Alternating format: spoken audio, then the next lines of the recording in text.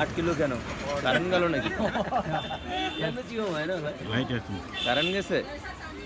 হাজার? তুলছো? তোলো তোলো। আচ্ছা নাও তোলো। হ্যালো?